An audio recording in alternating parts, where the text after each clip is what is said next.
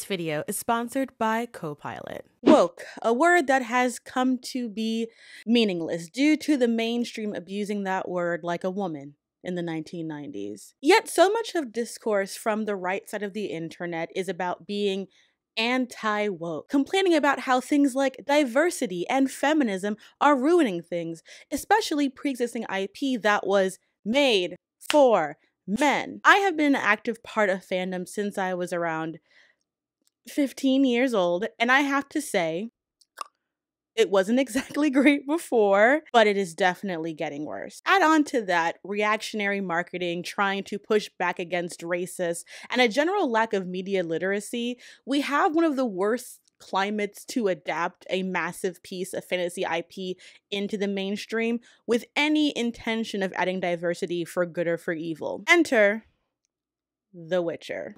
Fuck. I'm waiting to drink this. I like got it at Hex and Co at Union Square forever ago. And um, let's see.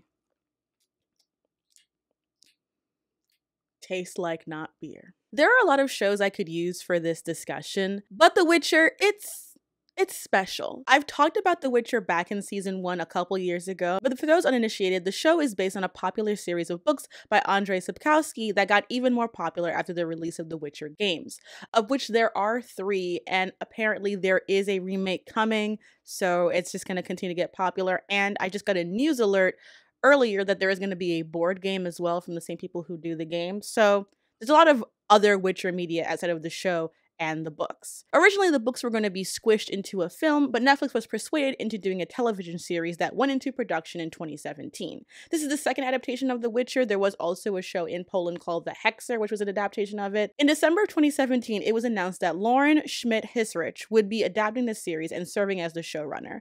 Before working on The Witcher, she had written for The Defenders, Daredevil and Power, which I, I I apologize to my black audience. I have not watched it. I don't care for that 50 cent. Henry Cavill, Henry Henry Cavill was cast in September of the next year, having heavily campaigned for the role of Geralt because he's a fan of the video games. Later, Freya Allan and Anya Chalotra were cast as Princess Cirilla and Yennefer of Vengerberg.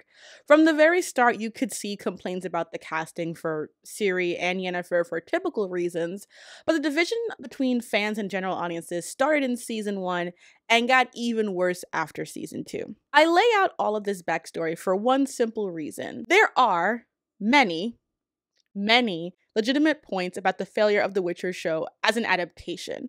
The problem is, most of the works discussing them are filled with like these alt right dog whistles that are hyper divisive on YouTube.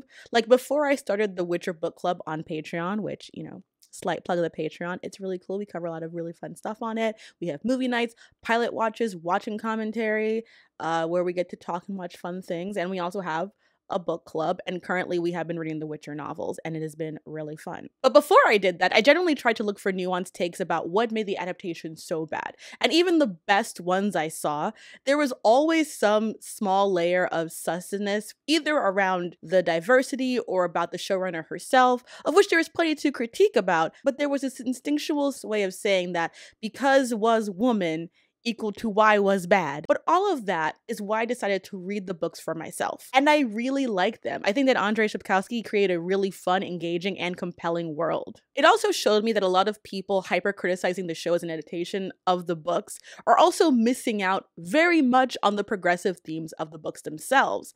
And I think that is what's so interesting about The Witcher in particular a lot of these people who really hate the show and blame diversity and feminism and inclusion and wokeness in general about why the show is bad, it doesn't often feel like they've read the books at all, really. And again, I've only played The Witcher, Wild Hunt a little bit. I am not trying to be an expert about the game. But as for the show itself and the books, yeah, I think there's a lot of lack of comprehension going on there. I think the best character to explore this difference in the discourse is gonna be Yennefer of Vengerberg, who in the books is a white character and has been race bent due to the actress as being half Indian. And I don't want it to come across as though I'm just attacking these, you know, video essayists and video commentators blindly, that I'm doing it just out of malice.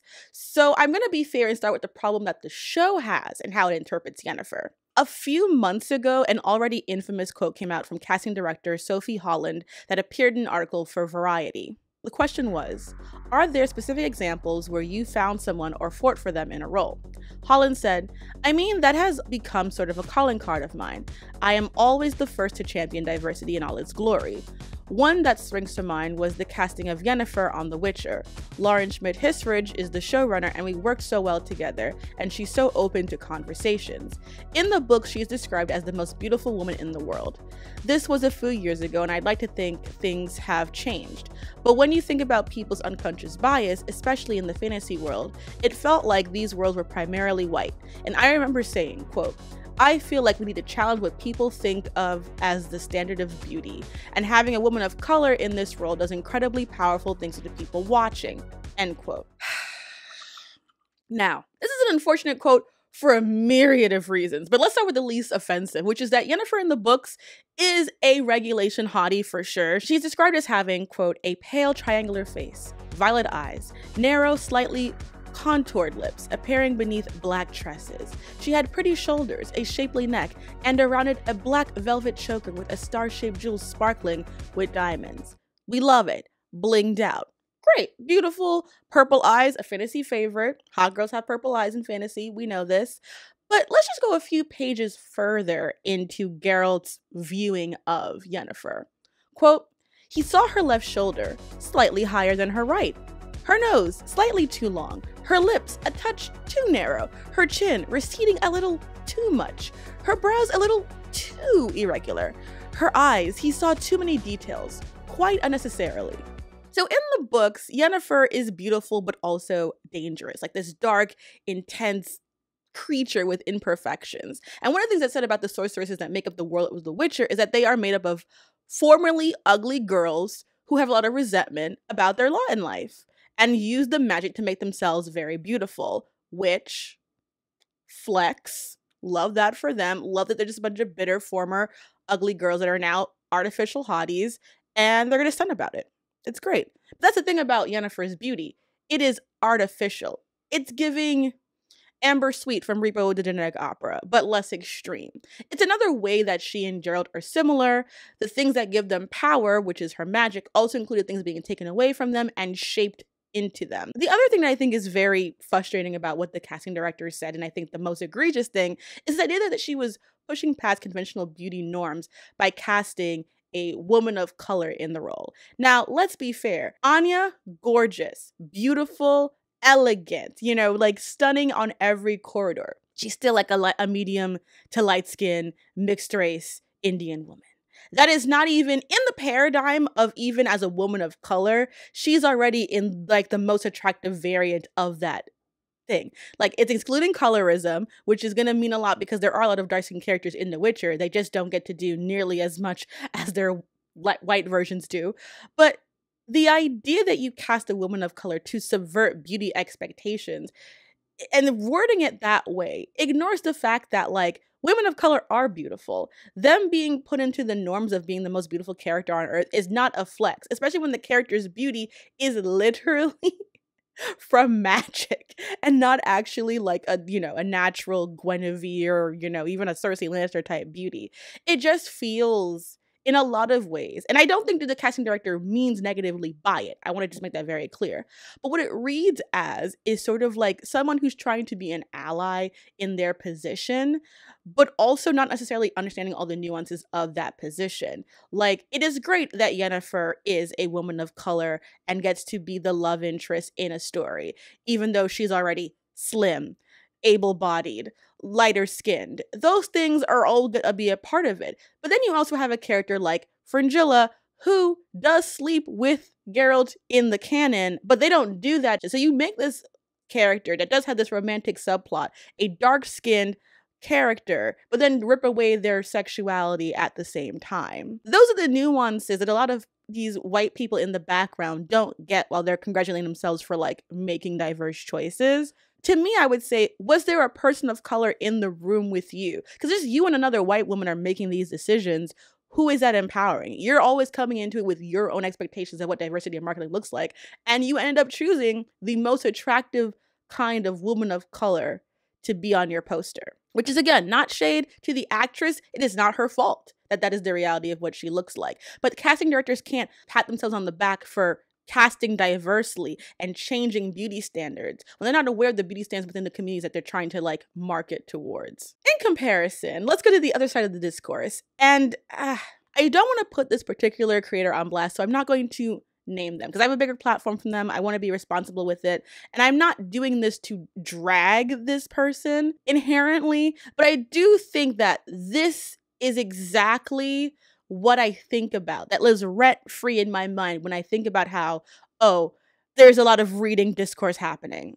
Yennefer is an inherently unlikable character. She was designed that way very explicitly by Sapkowski. As he puts it, when I created Yennefer's character, I wanted Geralt to fully grow, but then I decided to make things complicated. I created a female character who refuses to be a fantasy stereotype to please the reader. That's not what that quote says. Like, even if you as a reader, player, etc., feel like Yennefer is unlikable for a lot of reasons, that's your opinion. That's totally fine. But that is literally not what that Sapkowski quote says. Let's like let's just repeat it real quick again. When I created Yennefer's character, I wanted Geralt to fully grow, but then I decided to make things complicated. I created a female character who refuses to be a fantasy stereotype to please the reader. As a character, she is supposed to upset us, frustrate us, and anger us. To take that line and assume that making a character that doesn't appeal to the male gaze means she's difficult to like is a wild take, in my opinion, because it only highlights the major difference between like the creator who's writing this work in a very subversive way and the way in which the audience is so used to the traditional way of fantasy that that subversion must mean oh i shouldn't like them. Like that's wild to me. It's wild. Because what i take him to say in that quote is that he didn't want to give Geralt a passive female love interest whose only purpose was to warm his bed soothe his fears and have no other ambitions. Because he's talking about the fancy stereotype. He's talking about the noble virginal kind archetype that people think of when they think of what a female love interest looks like for a hero in fantasy, which Yennefer is very much not, which is why she's the best. She's never done anything wrong in her entire life. In the books and in the game, from what I have played of it, both characters have this inability to communicate at all, Yennefer and Geralt, and that's what stops them from having a meaningful relationship. Yennefer is a really fun character because she is arrogant, prideful, and stubborn, while also being at times kind, loving, and wise. She doesn't exist just for Geralt or Ciri, just to be a, you know, a lover and a mother, but she would die for them. What I see in the interviews with the showrunner and people who work on the show, and the criticism of Yennefer as a character from the anti-woke community, is it a case of both a lot of projection about what it means to be a strong woman in fantasy? What does fantasy womanhood look like when you're trying to write a complex text? Now, in season two, of the show, there's a lot of changes made to Yennefer's character because she's not really a primary character in a lot of the stuff. There's an interview where Hissrich says that Yennefer's journey in season two, the season where they depower Yennefer because otherwise she would have no role in that season because she's not in the book, and at least a lot of horrible OOC-ness, and it's really, really bad. This is what Hissrich says of, of Yennefer. In season one, we watched her choose power over having a baby.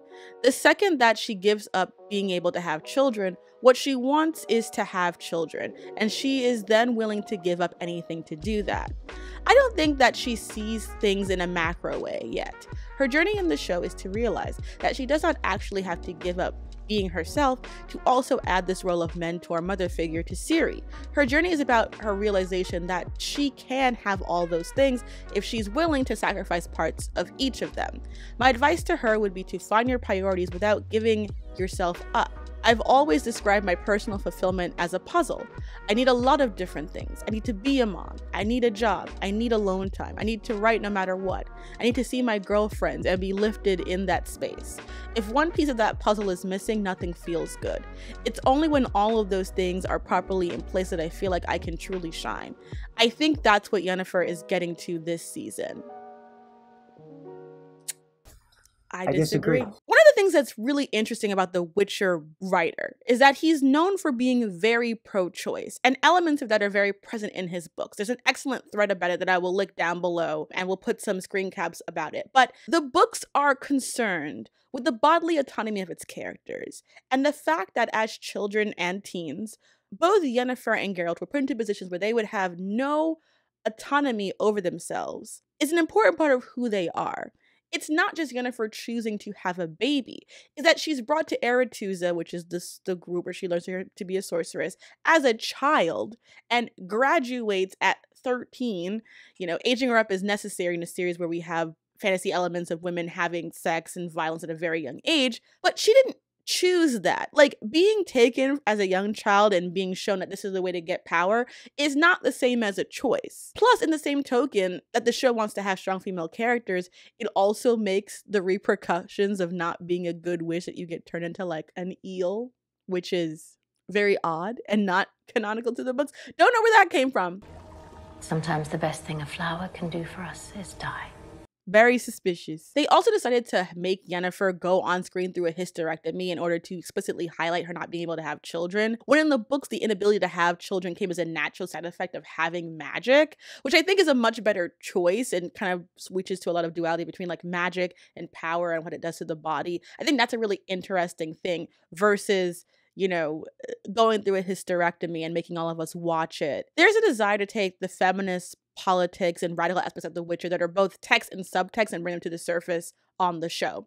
And that's a good instinct, in my opinion. The problem is that rather than take what's already there and fits, they keep adding and subtracting different things that can only really harm. Like depowering Yennefer to challenge her journey into becoming Ciri's mother is not just bad writing, but it also plays into the trope of depowering female characters and like making their entire identity about being a mother. That's not what Yennefer is all about. Add on to that that Yennefer is now a woman of color whose maternal identity becomes wrapped up in a white child. They never think about these things when they adapt these stories. They're always kind of like, yeah, just make them brown. It's fine. I have a Patreon video about how not everyone can be black, and it's the same thing for most other ethnic groups. Like you can't just make a character who is white, black or brown without thinking about how it fits into everything else in your world. Like it can't be done just like that.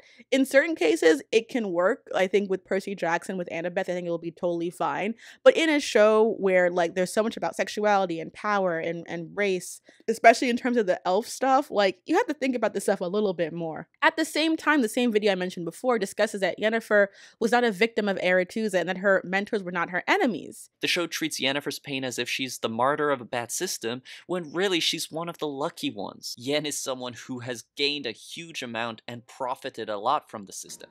Clearly capitalizing on the political situation here. I'm serving the stifled people of this town. It's fine to fly in the face of overzealous authority, but to pretend it's anything other than making a profit. They may not have been her enemies, but they absolutely did victimize her, and her mentors were not entirely good people. This is what Yennefer's own mother figure, Tissaia, says about if mages should even have children from blood of elves, and I apologize for the ableist language. But in what Tissaia says is that, quote, no one is born a wizard. We still know too little about genetics and the mechanisms of heredity. We sacrifice too little time and means on research.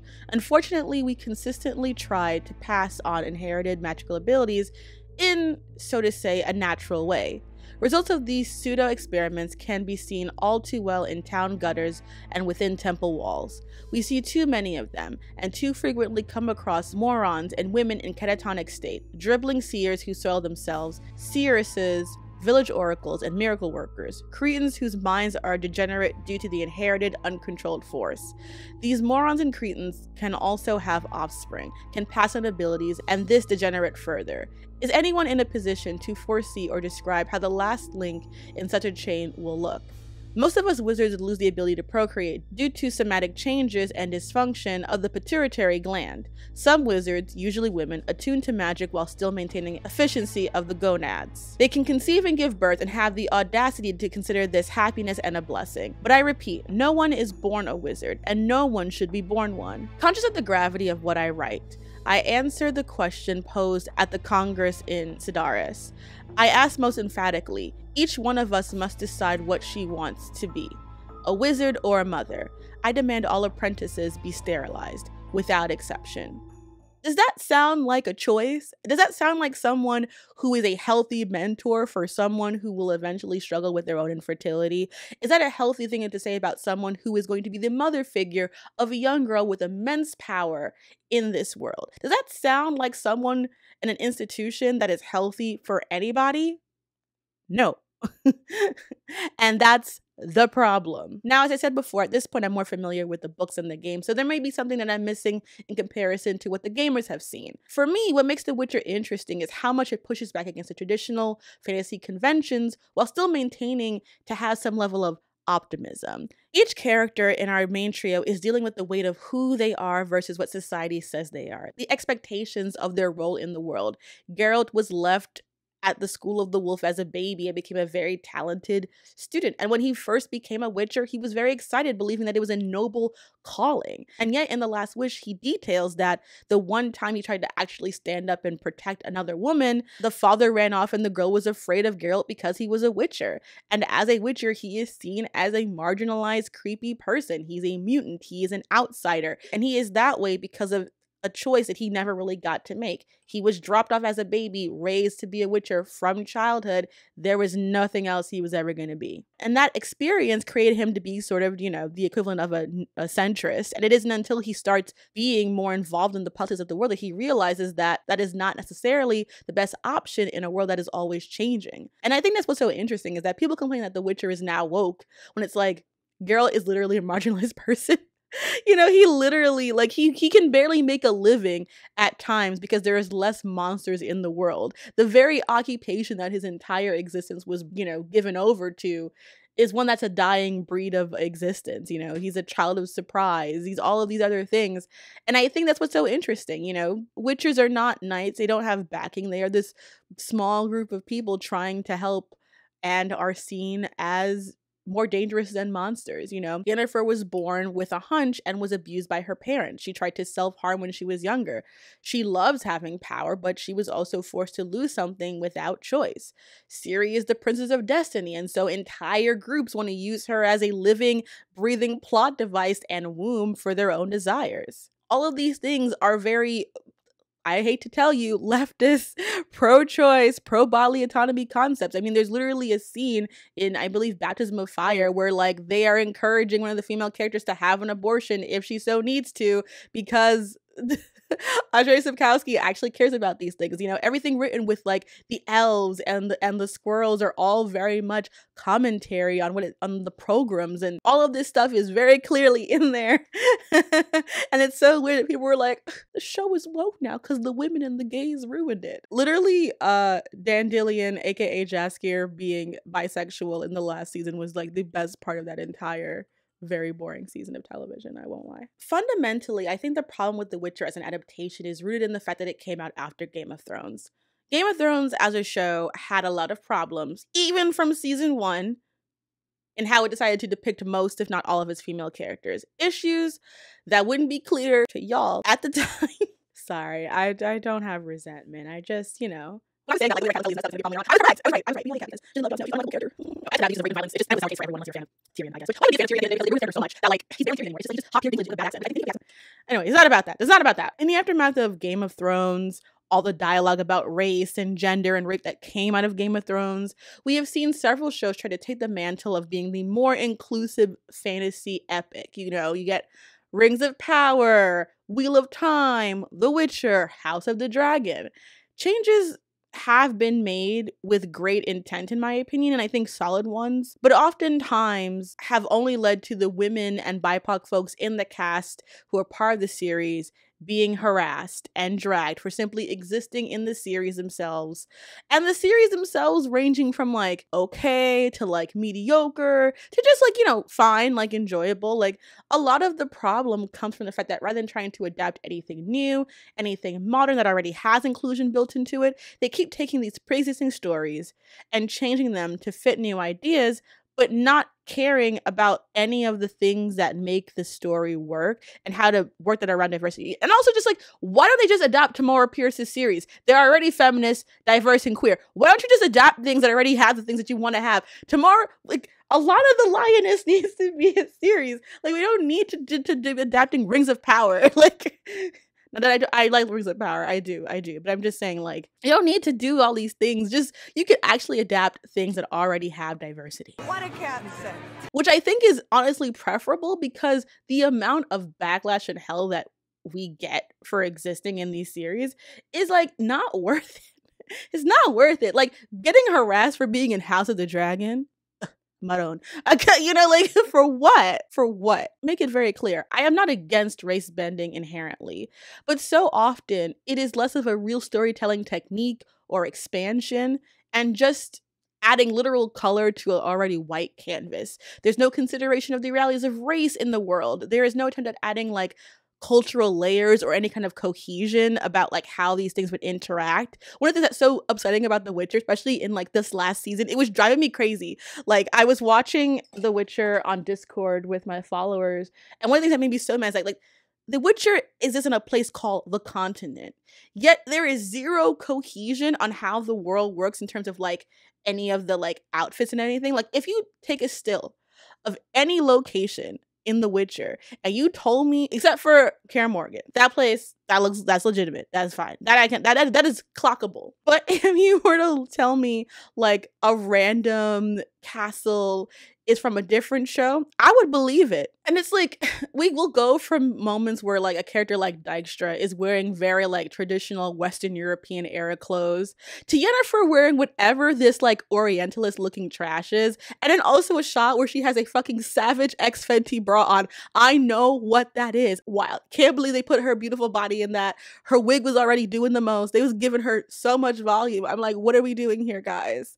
It was it was horrendous. I will say, whoever is doing the black hair on The Witcher, tens. Because Philippa was looking good consistently. All of her looks, outrageous, redonkulous. But also, like, again, the accents are inconsistent. It's like there's no sense of like cultural unity and you can have a blended culture. You can have a culture because because the humans kind of like dropped in there. You can have a multiracial society in the witcher but their society has to be in somewhere uniform. It has to look like it exists together in a place called the continent.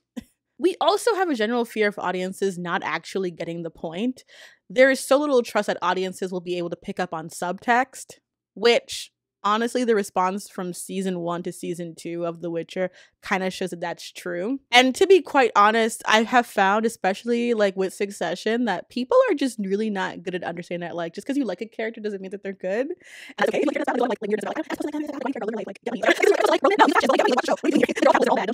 But it leads to in a show like The Witcher where everything has to be explicitly put on the surface, otherwise the message might get lost. In fantasy series, have a reputation. While there's a lot of texts that earn that reputation, I feel like it's also sort of ghettofied. And I mean ghettofied in the academic sense, not the sociological one. And therefore, there's this desire of like, to make it work, it has to do this and this and this, which is so strange because you think about something like Lord of the Rings, which was such a massive success because it was a good story. And all it took was it being good to get a massive. I was going to school, I think I was in the seventh or eighth grade when the movies were really picking up. I think, and girls who I knew were not into fantasy were watching Lord of the Rings because uh the story was good, the special effects was hitting, and you had eye candy. Win win win. When you turn something like Lord of the Rings or Dune, a massive epic with intense world building, into like a big budget film, you are hoping to tap into the universality of it, you know? And with Lord of the Rings and with Dune, you have the advantage of someone who really cares and loves the source material working on it.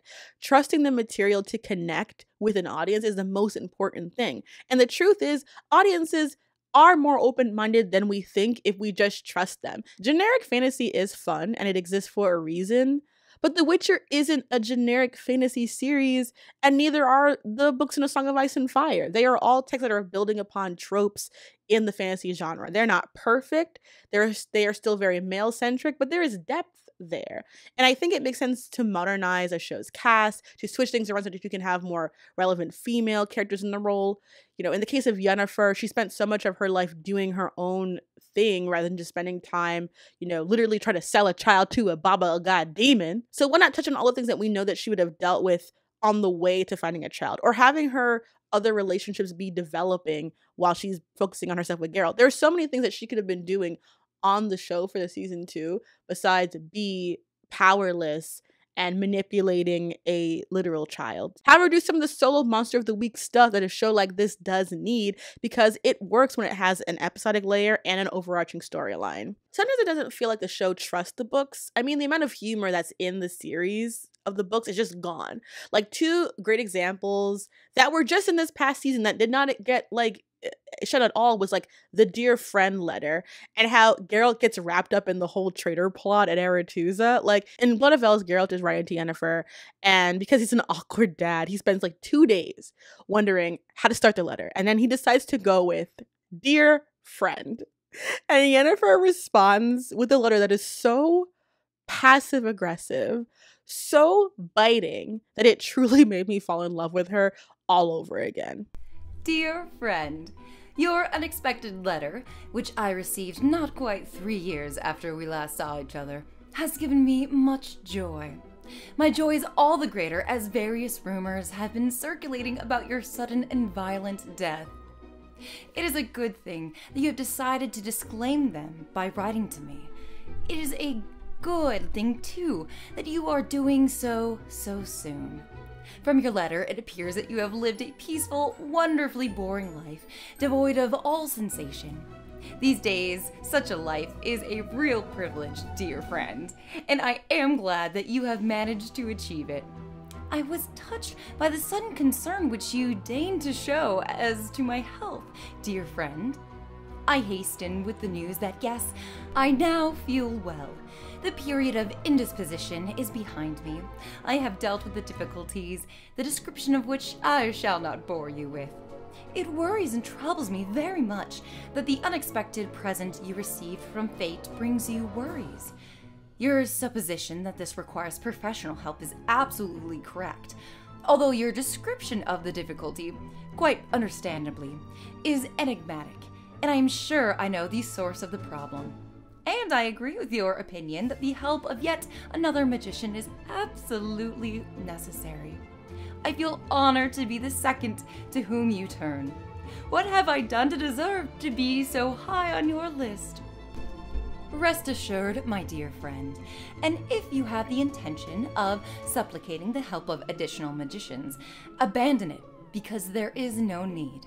I leave without delay and go to the place with which you indicated in an oblique yet, to me, understandable way. It goes without saying that I leave in absolute secrecy and with great caution. I will surmise the nature of the trouble on the spot and will do all that is in my power to calm the gushing source. I shall try, in so doing, not to appear any worse than other ladies to whom you have turned, are turning, or usually turn with your supplications. I am, after all, your dear friend. Your valuable friendship is too important to me to disappoint you, dear friend. Should you, in the next few years, wish to write me, do not hesitate for a moment. Your letters invariably give me boundless pleasure. Your friend, Yennefer. And what do they do on the show? They play it totally straight and for typical romantic angst. Dear friend, if our time at Kaer proved anything, it's that the world is changing.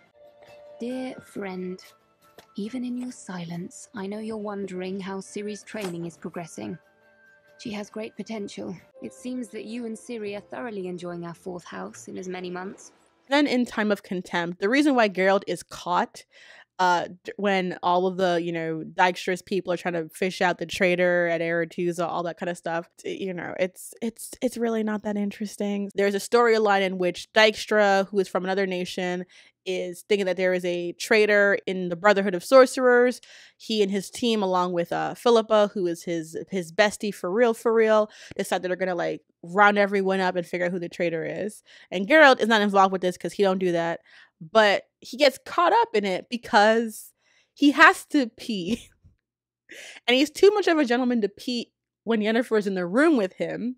So he goes to pee in a potted plant outside. and that's why he gets spotted. It was just, which is like so much funnier than what they did in the books. And it's just so Geralt. Like Geralt in the books is such an awkward turtle duck sometimes. He has like adult Zuko energy sometimes. Just like doing the weirdest, most awkward things. Like he's like a like a gentleman philosopher, but massive dork. There's so many moments where plot things happen in the books because people just need to use the bathroom or like their bodily functions are betraying them. And it's my favorite thing. And I think what's so tragic to me is that so much of the discourse around The Witcher is always focused on the cast, the hyperfixation on feminism and progressive identity in the writer's room, when it's like we can just say that as an adaptation, it isn't working. It does not have to be this whole woke women's issue. We have seen across multiple writers' room people who just do not get how to adapt a fantasy series. It's not an issue of gender or race. It's a fantasy issue of people trying to make a profitable show in 2023. We're using diversity to market a show, but the writer's room is still hella white. We are going to make weird changes around consent and motivation to give characters depth while also never dealing with the implications of those decisions issue. You know, fantasy is profitable sometimes. It's also expensive if you want to do it well. And and obviously the wig budget is struggling because Philippa is taking up so much of it with her amazing looks. And if the only way they can get people comfortable making these projects is to strip it of any of the actual narrative complexity across multiple franchises, then what we are seeing is not diversity or feminism ruining these shows. It's capitalism. It's always capitalism. Capitalism is the reason why something like The Hobbit gets made the way it did. I mean, think of The Hobbit. think of The Hobbit, a, a three parter that literally introduced a female elf because, like, there's only like two, three women. They're like, we have to put another woman in The Hobbit. We'll make a woman. We'll just, you know, go through our binder, grab a redhead, put it on the ground. And then the studio literally brings in that little anti vaxxer wasp girl and it's like, okay, you are gonna be something Fan L. And originally she's gonna be like a regular elf girl. And then what does the studio say? We need a love triangle. In order to take this job, you have to promise me I will not be in a love triangle. I swear to God, this is what I said to them. And they said, We promise you, you won't be in a love triangle. Came back in 2012 for reshoots, and they were like, uh, the studio would really like to see. And I was like, here we go. Capitalism, baby. Because if it's not going to cost a billion dollars and make us a billion dollars, what is the point? The point is that fantasy isn't always made or written to be a billion dollar franchise, especially something that's supposed to be subversing or interesting. Like The Witcher, I'm glad it was made. Like there's definitely stuff to enjoy about the show. And I definitely think for anyone who loves the show and that's their shit and they just want it to be their shit, God bless. You know, like I'm not saying you have to hate the show or anything like that. Uh, to me, it's like it's trailed off a little bit, especially with the whole stuff around Henry Cavill. That has also been another issue to it, as well as like this idea of either trying to make Henry Cavill the the poster child for, you know, male gamers in the derogatory and positive ways. And I'm just like, that's a lot to put on a person who just wants to leave an adaptation of a show that he may not like anymore. Like sometimes people just leave shows. He's also like nearing 40, if not 40, and has been on multiple big projects. Like maybe he doesn't want to be in something he doesn't fully enjoy anymore. And that's okay. But all of those things are part of why we can't just enjoy things because everything has to be oh, these women with their stupid woman stuff are ruining fantasy. And it's just it's just not true. The adaptation does not hold up entirely, but it's for reasons of capitalism output. Netflix wants to make money. That's why the first season, what was how did they promote that show? Henry Cavill's abs. Henry Cavill's abs is what made The Witcher what it is. I'm just tired of this weird ability. And I know it's going to continue because I'm seeing you guys do it with Castlevania Nocturne, which on my uh, surprise second channel did a little rant about that because y'all are ridiculous. Get help. But yeah, I think we're living in a really interesting period where we're seeing fantasy being used as a way to make money because Game of Thrones showed that it could make money. But rather than learn the actual lessons, which is that like a well made, interesting genre show can be successful if it's given an opportunity by a really good company that takes the time with it. I mean, don't forget, they filmed two pilots of Game of Thrones to make sure that it really worked when they actually put the money behind it. Like, it went through massive casting changes, so many things. Like that show had work put into it. If you're not willing to put in that kind of work, to really give your showrunners room and to actually trust an audience, you know, I think one of the things that's so important to understand about great TV is that it has to trust that the audience will go on the journey with them.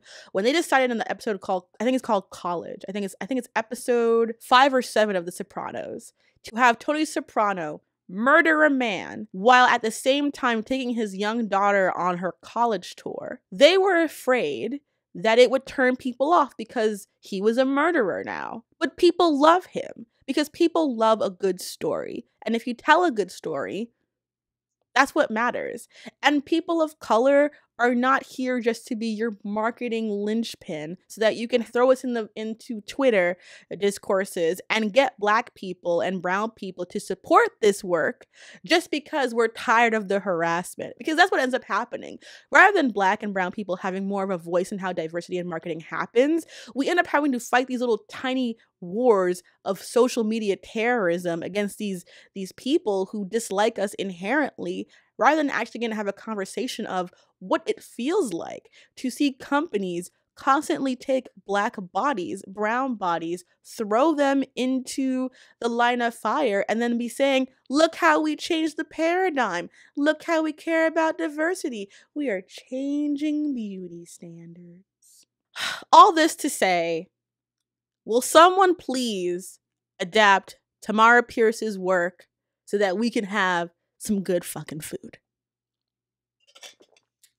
When the pandemic happened, as it happened to a lot of people, I developed terrible anxiety to the point where I started taking medication for it for the first time. My mental health improved, but my physical health started to change. And earlier this year, I was diagnosed as being on my way to being pre diabetic, just like my cat. Since I got that diagnosis, I've been working really hard to try and find ways to get healthy in a way that honored my own principles. I didn't want a quick fix, I didn't want some diet that wasn't going to stay.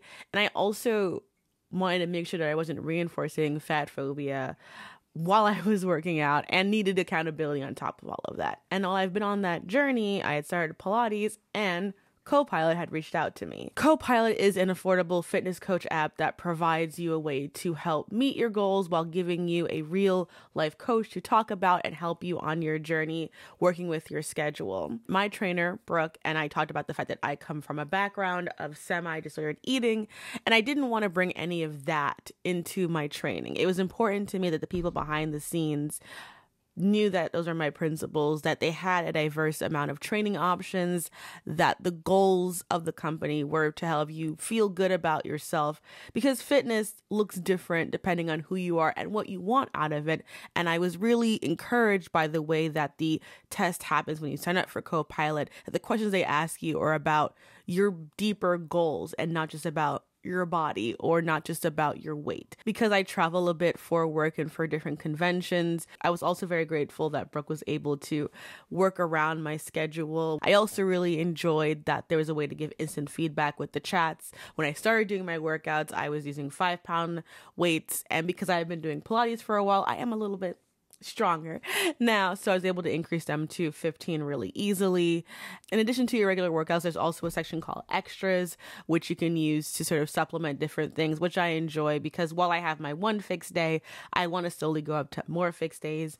I'm finally working out nearly three times a week. The sponsor requires you to take five classes beforehand, and I really appreciate that because it forced me into the gym to do what I wanted to do and reminded me that I do actually enjoy working out when it feels like it's for me. And what I like about Copilot is that it feels like it's for you. And over 75% of Copilot's clients continue to work out after 100 days, which is nine times more successful than a lot of other apps doing the exact same thing.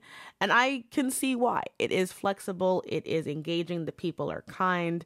And I also think that it's important to recognize that your goals will change, that the important thing is finding something that is long term effective for you.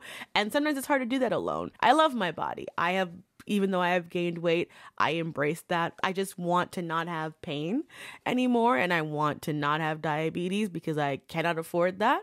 So, working out is both a way for me to love myself and take care of myself at the same time. Click on my Copilot link to get a 14 day free trial with your own fitness expert and health coach. Try it out, see if it's for you. And I definitely think that if it's something that you've been thinking about, doing it in a way that feels authentic to you is the most important thing. And having options is what helps. And Copilot delivers a bevy of options. Once again, you can click on the Copilot link down below to get a 14 day free trial with your own expert and fitness coach. Try it out for yourself. I don't think you'll be disappointed.